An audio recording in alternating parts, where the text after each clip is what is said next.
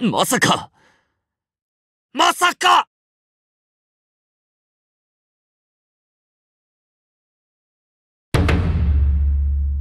まさか！ルイと同じクラスになるとは！いやこれには僕も驚いたよ。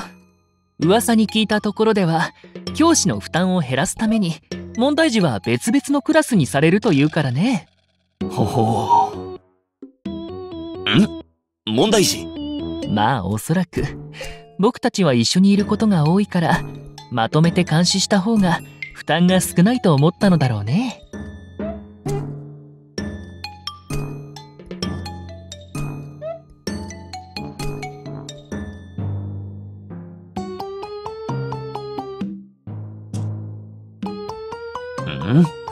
ん？何やら妙に注目されているような。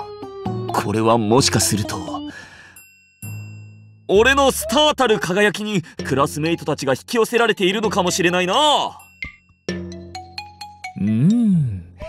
そうかもしれないね。まあとにかくクラスメイトになれて嬉しいよ。卒業までの1年間。よろしくね司くん。ああよろしく頼む。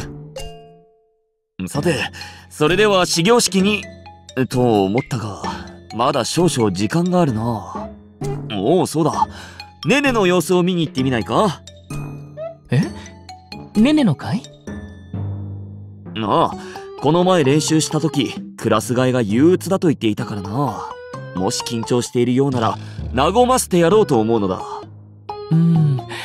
僕たちがねねのクラスに行ってねねが和むかどうかは怪しいところだけれど。まあ見に行ってみてもいいかもしれないねどんなクラス分けになったのか興味もあるし。